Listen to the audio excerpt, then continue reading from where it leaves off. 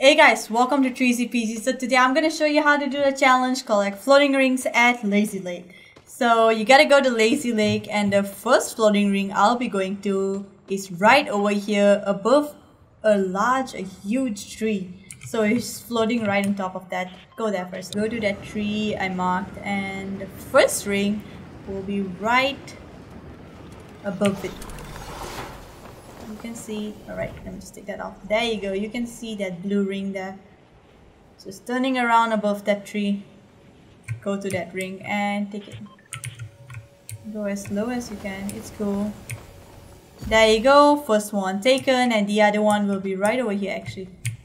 There you go the other one is right here above the umbrella itself.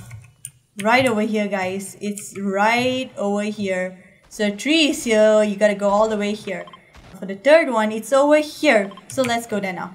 All quiet. Let's go there quietly because I don't want anyone shooting me while I'm trying to complete the mission. Okay, so let's go there. Walk up here. There you go. Someone has already built a ramp for me. Thank you. Queen coming by. The queen is coming by. Hey there. Bam! There you go. And for the last one, guys, for the last one, it's right over here. Outside itself, not in a building. Outside. So let's just hope no one actually decides to shoot me and kill me before I could actually reach there. Come on, man.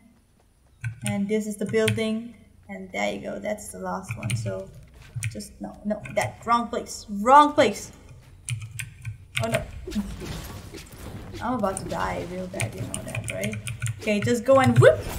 That's it for the challenge, guys. That It's that easy. So if you enjoyed this video, give it a thumbs up, hit the notification bell, and subscribe to the channel. And do stay tuned for even more challenges.